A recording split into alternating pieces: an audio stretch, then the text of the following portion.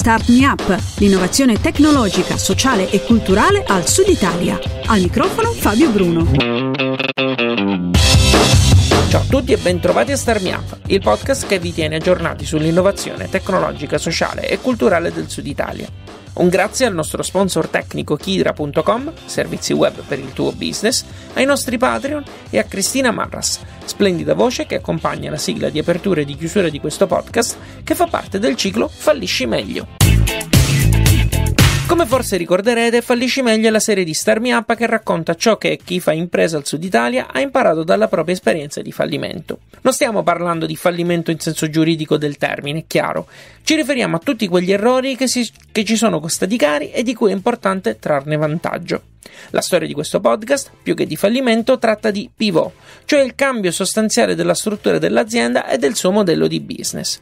È la storia di Massimo Morgante che oggi sta portando avanti Musify, un progetto che nasce sei anni fa circa con il nome di Volumit. Era un progetto nato nel, nel 2013 come una piattaforma di diciamo, un social network musicale dove le persone potevano caricare, eh, creare la propria eh, collezione musicale online. Eh, nel frattempo, diciamo, non avendo trovato un modello di business, abbiamo iniziato a lavorare al, al nuovo progetto che era quello di connettere sempre nell'ambito musicale eh, gli artisti con i fan. L'abbiamo fatto in una maniera molto semplice, che era quella di creare il fan club dell'artista. Davamo quindi una piattaforma digitale all'artista dove poteva creare il proprio canale a sottoscrizione dando all'interno dei, dei reward che potevano essere eh, sia fisici che digitali. Massimo e il suo team di allora sono molto attenti alle reazioni del pubblico e cercano di reagire come possono. La seconda versione di Volumit, quella che Massimo ci ha appena descritto, era quindi una sorta di Patreon, il portale che permette a artisti e producer di raccogliere offerte dei propri fan, però verticale sul mondo della musica. Patreon è lo stesso sistema che usiamo noi qui a Star Me Up per raccogliere delle donazioni da voi ascoltatori. È un modello che presentava alcune criticità, come ad esempio il contatto con gli artisti. C'era un grosso dislivello tra l'artista piccolo, il medio e il grande. Uh, il grande ovviamente ci doveva arrivare tramite discografica, la discografica la contattavi, diceva che questa parte non era interessante per loro o comunque magari non era ehm, non la gestivano direttamente.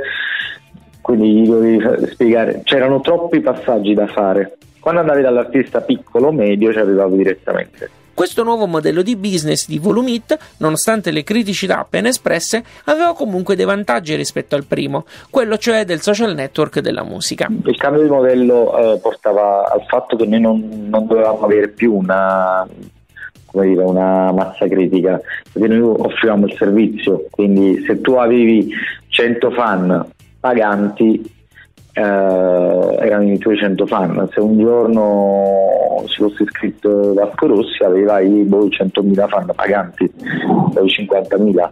Quindi eh, eravamo passati a un B2B2C, perché noi poi eh, il nostro modello di business era su una percentuale sul sull'utente registrato al fan club del singolo artista.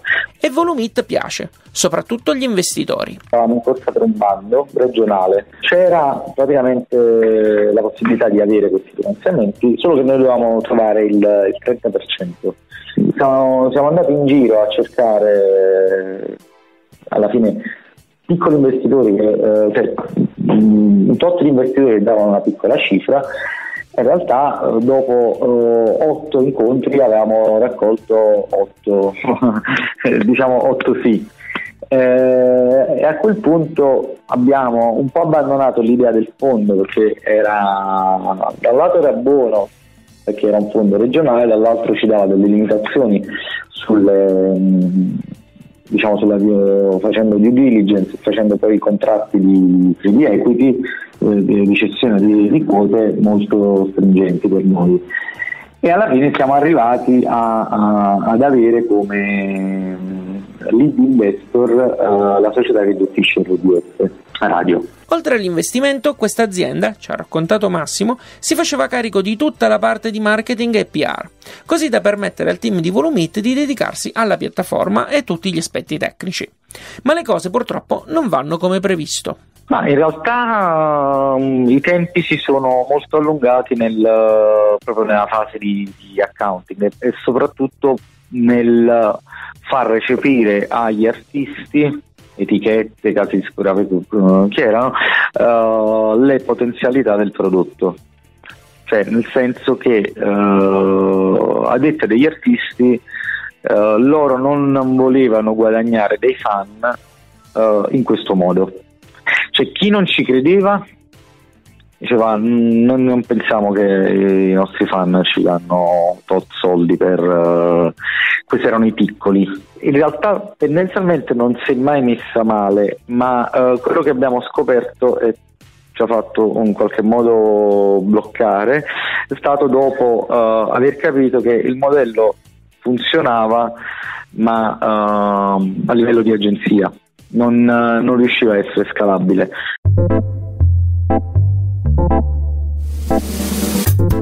State ascoltando Fallisci Meglio, lo spin-off di Star Me Up che racconta il buono dietro il fallimento di una startup, possibilmente del sud Italia. Quello che stiamo ascoltando in questo podcast, più che un fallimento, è il pivot di Volumit, oggi Musify, e lo sta raccontando ai nostri microfoni il suo founder, Massimo Morgante. Fino ad ora abbiamo raccontato i due business model messi in campo da Volumit, il successo con gli investitori e le prime criticità.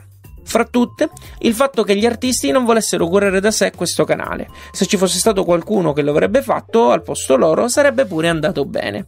Ma quello non era il core business di Volumit e soprattutto non gli avrebbe permesso di scalare come avrebbe dovuto. E così si è reso necessario un ulteriore cambio. Questa volta però si è cercato di partire da qualcosa che funzionava già sempre all'interno di questa della piattaforma noi che volevamo fare che volevamo sviluppare dei prodotti per, da inserire all'interno del fan club. Quindi io ti do il fan club, ma ti do degli strumenti, tra cui gioco. Quindi noi avevamo sviluppato un gioco in, uh, direttamente su Facebook, quindi via chatbot, direttamente nelle pagine dell'artista. Uh, noi creavamo delle domande sulla vita dell'artista, contattavamo l'artista, partiva il gioco quindi con una serie con premi in palio che in, in realtà erano sempre incontri con l'artista prima del, mm, della registrazione del disco. Comunque abbiamo fatto molte molte molte attività. Questa cosa era recepita molto bene dagli, dagli artisti quindi noi contattavamo loro e uh, gli proponevamo di fare questo gioco. Questo gioco ovviamente doveva uh, funzionare sulla loro pagina ufficiale di Facebook tramite il loro bot, cioè tramite la loro pagina, tramite il loro messenger. Questa cosa è andata molto bene con uh, tendenzialmente con diversi artisti. Beh, considera che abbiamo fatto 25.000 giocatori in due mesi. Eh, molto buono. Eh, il problema era sempre lo stesso: come monetizzare questo. In realtà, oltre alla monetizzazione, il problema era anche un altro. C'era tutta la fase di uh, trovare gli artisti, contattarli, convincerli, premesso che era gratuito. Uh, una volta dato l'ok si dovevano scrivere le domande, dovevano essere approvate le domande, doveva partire il gioco, dovevamo fare piccoli test e partiva una uh, campagna pubblicitaria diciamo, che faceva aumentare il numero di giocatori. Uh, dovevamo risolvere questo problema perché era molto lungo e quindi l'idea uh, che c'era venuta era quella di creare dei giochi per l'artista uh, sulle canzoni. Quindi io ti creo il gioco tuo, tuo di artista, cioè con tutte le canzoni, un quiz musicale, cioè l'idea era proprio fare il quiz musicale, eh, quindi domanda con, cioè ascoltare 10 secondi di canzone con 4 risposte e eh, quindi tenerlo già pronto. In questo modo potevamo andare da un numero molto più ampio di persone a dire ho il gioco tuo, quindi creare la piattaforma che prendesse tutto. Ho il gioco tuo, lo vuoi utilizzare? Nonostante tutto, Massimo e il team di allora riescono a pubblicare una versione dell'app, ma i risultati non sono convincenti. Siamo all'inizio del 2018 e tutto sembrava perduto. E poi, uh, diciamo a luglio, mi sembra, ho incontrato un, uh, un, ragazzo che si occupava di giochi, gli avevo proposto di, uh, di, di, aiutarmi a sviluppare questa cosa che già era stata fatta ma era stata fatta male. Praticamente poi lui è partito da, da settembre ha, uh, ha, fatto le modifiche la prima volta all'app che funzionava, poi in realtà è stata sviluppata, ha coinvolto lui e un altro ragazzo uh, per ottobre praticamente, abbiamo sviluppato una prima versione dell'app uh, nativa proprio, sia su iOS che su Android e, e a dicembre abbiamo rilasciato la prima versione. Nel frattempo abbiamo coinvolto altri, un'altra persona, poi altre due, eh, e da, da, dicembre a gennaio l'abbiamo rifatta completamente e l'abbiamo rilasciata a gennaio praticamente, metà gennaio, in realtà pochi giorni prima eh, della fine di gennaio in concomitanza con l'inizio del Festival di Sanremo. A questo punto è bene capire come funziona Musify. Musify è un'app che chiunque può scaricare sul proprio smartphone. Dopo la registrazione, l'utente sceglie una playlist e dovrà essere bravo a indovinare nel modo più veloce possibile la canzone che sta ascoltando o l'artista che la canta. Naturalmente, più l'utente è veloce, più c'è la possibilità di scalare la classifica. È quindi un gioco a chi conosce più canzoni e cantanti. Se ricordate bene, il discorso del quiz era una delle funzionalità secondarie della seconda versione di Volumit. La bravura di Massimo e del suo team è stata quella di notare che effettivamente era la cosa che funzionava di più fra gli utenti e quindi hanno pensato di valorizzare questa parte a discapito di tutte le altre. Eh, in gergo tecnico questo è quello che si chiama zoom in pivot, ovvero quando si prende una caratteristica che era pensata come secondaria e la si fa diventare centrale. Naturalmente in questo senso è perché si ascolta la propria utenza. E il progetto così com'è quindi è piuttosto recente e sta avendo molto successo fra gli utenti, ci dice Massimo, e al momento sono in ballo due modelli di business.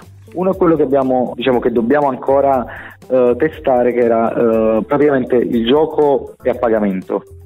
In questo momento è gratuito, tu puoi giocare, noi ti diamo dei crediti, uh, quando finiscono i crediti li puoi riacquistare in realtà attualmente te ne, te ne, diamo talmente tanti oppure le playlist sono gratuite quindi puoi giocare. B2C in realtà questo è un modello che faremo in revenue share probabilmente con le eh, case discografiche. Perché utilizzando musica per, per monetizzare dovremmo fare revenue share. Mentre il secondo? L'idea è creare con dei brand uh, dei giochi tematici. In realtà, uh, per quanto riguarda uh, tutti i brand editoriali, quindi nel nostro caso so, una radio anziché un festival, mettiamo ancora le canzoni. Mentre invece se c'è un, un brand, un, possiamo fare un gioco a tema musicale, faccio un esempio che ho visto ultimamente, noi ancora stiamo testando ora questo modello, quindi stiamo parlando ora con le, le società. Uh, Timberland, ti faccio un esempio, ho visto che su Spotify aveva una playlist che si chiama Celebrate the Icons, quindi aveva all'interno della, di questa playlist tutte canzoni uh, legate al, uh, ai più importanti gruppi rock di sempre, rock, pop e così via. L'idea è che possiamo fare stesso, lo stesso gioco con domande sulla vita dei, degli artisti presenti in quella playlist, per esempio, dove il brand si promuove in, ma- in, maniera diversa rispetto a quello che è un banner o una playlist, cioè non, sono, non, non sei più utilizzatore solo uh, della, in questo caso della playlist, quindi ascoltatore, ma giochi al gioco del brand. Come al solito, nella terza e ultima parte di Fallisci Meglio cerchiamo di trarre un po' le conclusioni di ciò che abbiamo ascoltato fino a qui. Prima voglio solo dirvi che la settimana scorsa c'è stato il primo community caffè del gruppo Telegram segreto di Star Me Up. In poco meno di un'ora abbiamo posto le basi per la creazione di questa community che sostiene economicamente il podcast che tutte le settimane ascoltate. È molto importante per me, al di là del discorso economico che mi permette di mantenere in piedi la struttura, anche perché mi dà la possibilità di condividere il percorso di Star Me Up con persone con uno stesso obiettivo, il racconto di un Sud Italia diverso. Al termine di questo podcast spiego come entrare e far parte di questo gruppo. Adesso però torniamo a Massimo Musify. Mentre lo intervistavo, ho notato che Massimo utilizzava sempre un noi e quindi gli ho chiesto del team che nel corso del tempo è cambiato molto. Il progetto in realtà iniziale di Volumit era nato sei anni fa con tutte altre persone uh, che poi man mano si sono staccate.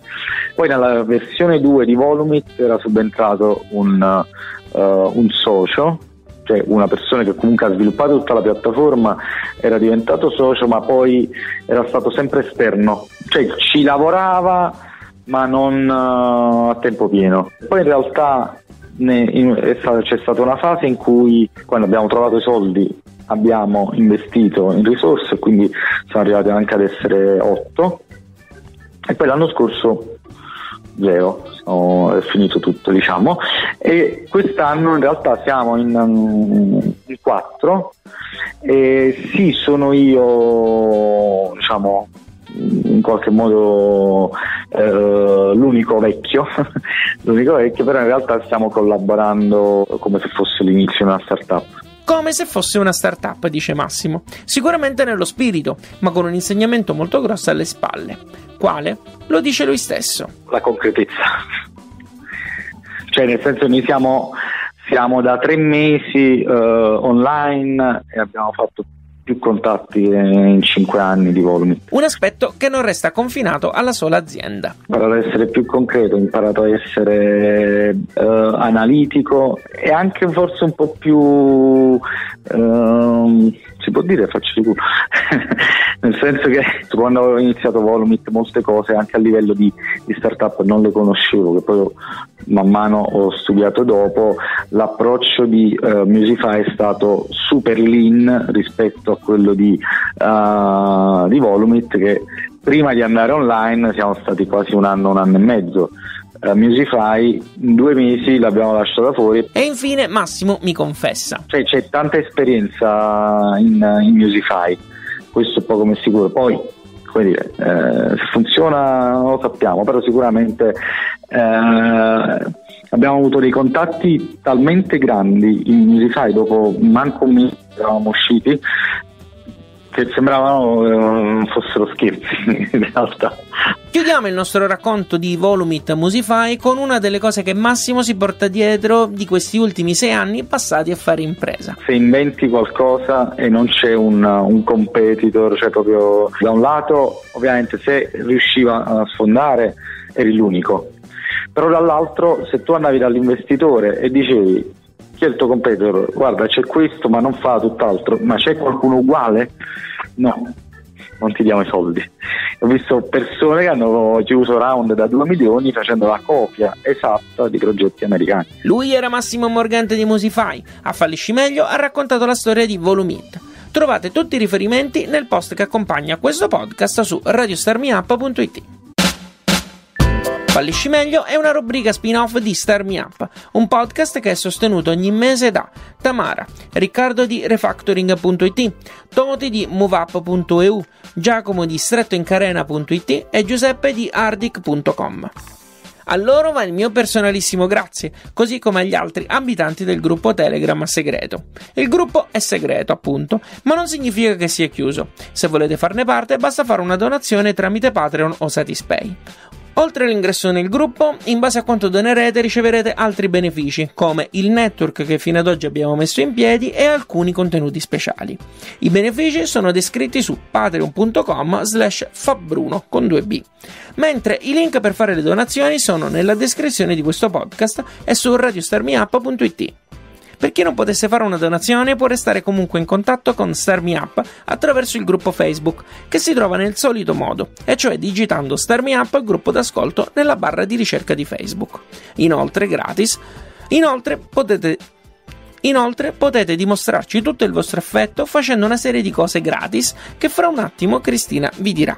Io vi ringrazio per averci ascoltato fino a qui e vi do appuntamento alla prossima settimana con un nuovo podcast o quando lo vorrete sui canali di Star Me Up. Alla grande! Ti è piaciuto questo podcast? Dillo con una recensione o mettendo qualche stellina su iTunes. Un complimento fa piacere, una critica ci aiuta a crescere. Segui il programma su Twitter, LinkedIn e Instagram. E se ti piace, abbonati. Non perderai così neanche un podcast. Non sai come fare? Su radiostartmeup.it trovi le istruzioni, il link diretto a iTunes e il feed RSS che puoi usare su Android. Ci sono anche i link ad alcune app da scaricare gratuitamente che puoi usare per ascoltare i podcast direttamente sul tuo smartphone. Altrimenti vai su Spreaker.com e cerca Start Me Up.